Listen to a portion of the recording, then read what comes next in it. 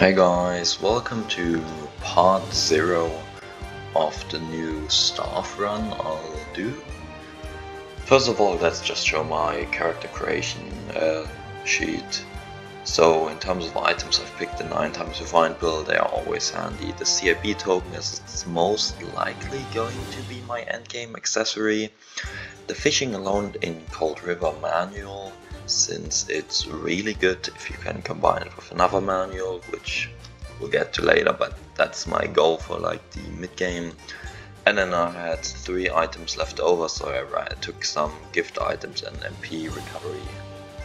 And ignore this up here, this is a mod, I still got to disable it before I get the event in the forest as well. The clouds part and shine, martial supremacy, reincarnated monk, Qin blood, lone wanderer, loner, learn from everyone, mightiest thunder, effective learner, top achiever, regenerative, regenerative body, seal immunity, internal injury immunity, rapid response like a rabbit, long weapon talent, Buddha heart hardened like the six Pluterites, long mastery, and quick reflexes. A total of 445 points, the thing is though, in case you don't have that many points, after I had 75 points left, I myself did not know what to do, which is the setup. Because we are going like a full strength build, so fights are not going to be that long. As such, you won't really be inflicted with internal injury as such need internal injury immunity, then we don't need the replenished Qin blood that much. Late game we're going to have 22 constitution initially and then you do the side poison testing so you're down at 12 and with 12 constitution it's not all too great. Then regen body, uh, I don't even know why I'm taking it, but I guess gotta spend them somewhere in long weapon talent and long mastery since we're playing staff and something something yes. Uh, otherwise you could obviously take some traits down here. Interesting points I suppose would be like wholesome or optimistic, some quality of life. And then we'll also talk about the available points. As you can see I have 9 points left because I did not put a single point into intelligence. Reason being is if I went all in in intelligence, I have 29. The most I could lower my intelligence by in-game is 15, which is minus 12 essentially from Buddha Heart, because I currently get plus 2. And if I have a full party of 5, I get an, another minus 10, so that's a difference of 12, would put me at 17 then we use the antidote, would put me at 15, and then we get injured as well, so we're at 14, which is too high to get the enlightenment bonus point. As such, I simply lower it all the way. You could probably do the math as well. Minus 15, so we could have it at 24. But let's not bother with that. And the idea is, of course, to get that one extra bonus point from the Shiva leader, from enlightenment and that should be it. And then regarding the name, I had some name, now I gotta think again. Uh, there you go. Heroic Revon started, yes. In the year of... And skip.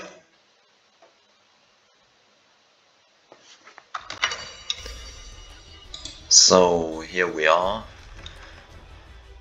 You can see my character thing. I did get daily income as well. It's really nice quality of life. It's just some money and last run I did it was amazing.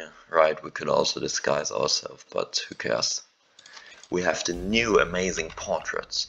Uh, but let's not do the story we actually wanted as it's part zero. Talk about my goals and everything, the rule set. The one rule I will enforce in this playthrough is no homestead transfers once more. It was really fun last run to actually have to work for your manuals. Downside obviously with it is I cannot get deviation form, which is of course the best internal manual there is. We cannot obtain it and as such I need to use Tyrant Blade technique for the attack and to get Tyrant Blade technique I need to do the whole desert quest line. That's easily like an hour of effort. But well, gotta do it. And then let's go through them one by one, like what's my endgame weapon and so on. Endgame weapon, we're playing Staff, Juyin. It's 660 and 300 attack, really solid. You gain 35% crit damage and 30% final damage, like really good. And since it's crit damage, we have to guarantee that we crit.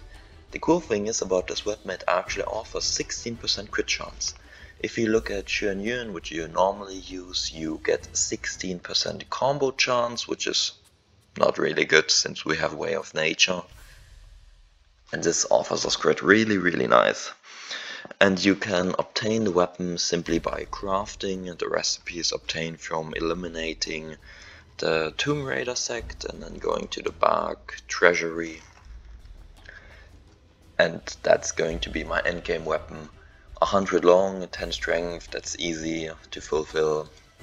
The other staves we can also look at, there's like Ding Hai, Ding Shenzhen, which is 600 and 250 attack with 15% increased attack, like that's decent damage. It does not have the final or crit damage multiplier though, and it lowers your action speed, so forget it already. Then the 9 ring tin staff, 600 and 300 attack, but no other real modifier. We do not really care about the internal injuries since enemies take 60% less, so it will at most inflict 8 internal injury. Not that amazing, the vulnerable status is like guarantees that you crit, but I'd rather get something with crit damage. And then there's also the Beast Manor staff, which 600 300 attack is fine, then 40% crit damage, but sadly no final damage. If Julian did not exist, we'd definitely take Mountain Suppressor, but yeah. Welcome to Julian. Uh, armor, well we're playing at 2560, so armor possibilities don't really exist outside of like a few select ones, which is silk armor for simply HP, and I think that's it, or white sleeve, uh, like the skirt, fairy skirt, for action speed and HP. Once more, it's craftable, you'd need to find the 5 orbs for the recipe, which is relatively simple, and then simply get the uh, materials from the auction and there you have it.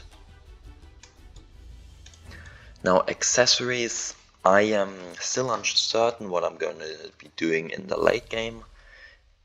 I doubt it's going to be the Imperial Seal, yes, it does offer 10% attack, 10% uh, defense, and guaranteed crit, but we can probably reach 80 or 90% crit chance nonetheless.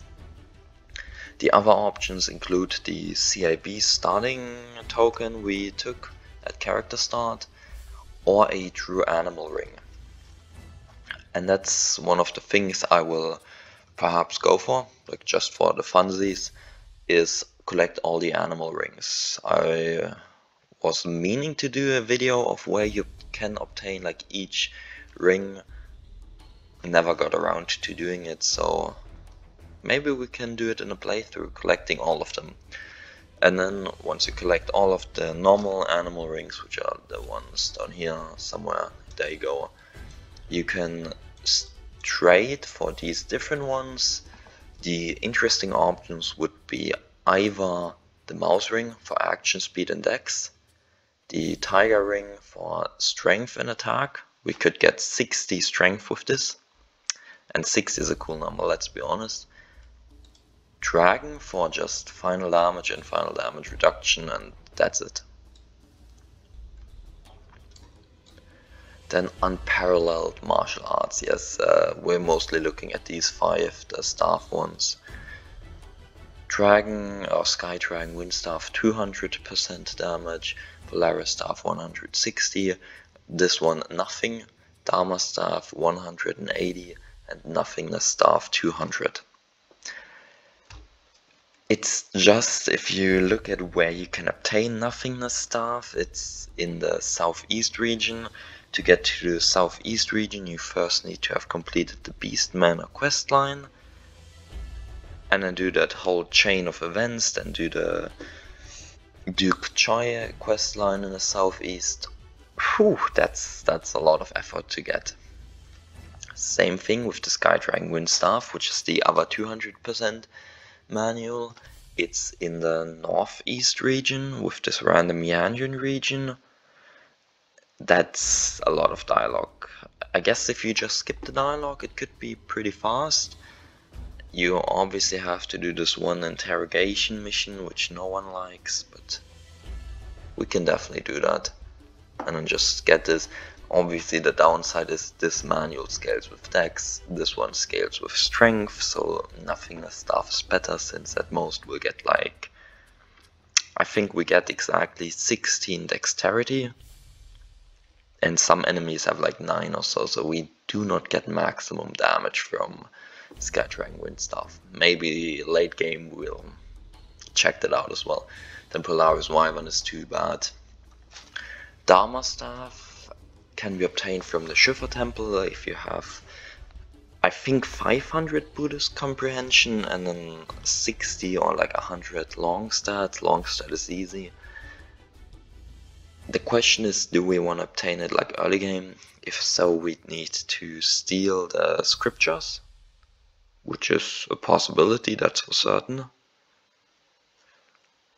Or do we only want to get it once we join the um, Shiva sect? Like that's going to be late game if we do it like that. And then Polaris Staff, Polaris Staff we can obtain really early on. We just buy it from the old man, like we join the old man anyway, so we just do some side quests like the Shusheng, hero competition meeting, whatever. We can do the one in Dalian.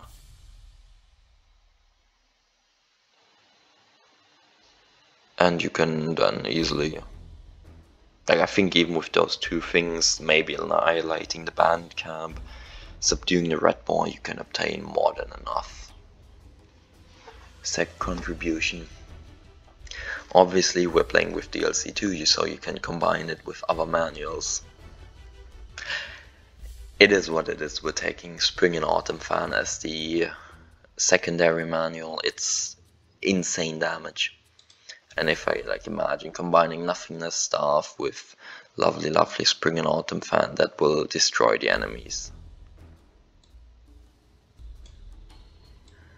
And hard or inner manuals as I mentioned I cannot get deviation form. It would be the preferred setup but yeah gotta skip it. We are going for Confucius Sutras or 13 Sutras. It's simply too good like the enemy cannot parry Which, and like in case you did not know a parry actually prevents a crit. So by always preventing parry you are more likely to crit in that sense then you cannot be crit and you have guaranteed accuracy too insane. And as for the combo and I well I gotta mention it if we actually go for nothingness staff as our main attack or like main thing I need a yin manual. And Confucius is yin whereas Tyrant Blade technique is yang, so I cannot do a combination of these two if I want that effect.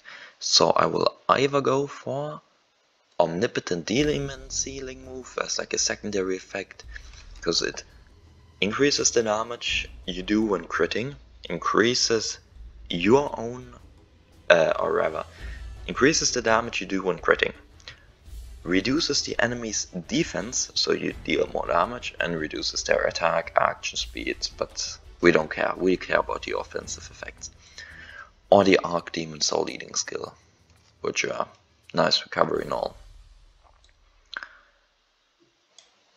And then you just combine like Confucius Sutra's Omnipotent Demon Sealing move as your first and active internal manual and then do 4 combinations of Tyrant Blade technique with something for 750 attack each.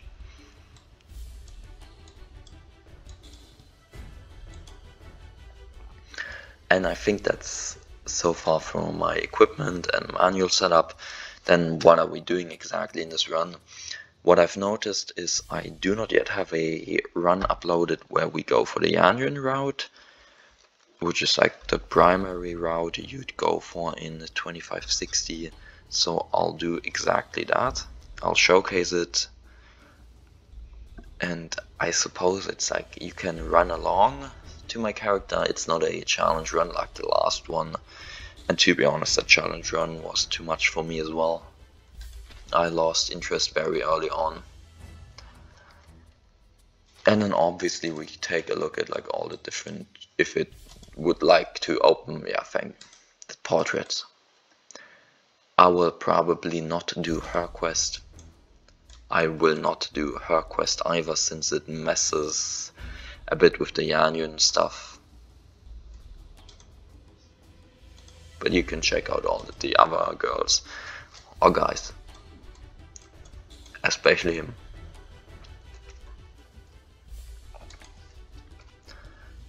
And I think that's like all I can talk about in this part zero.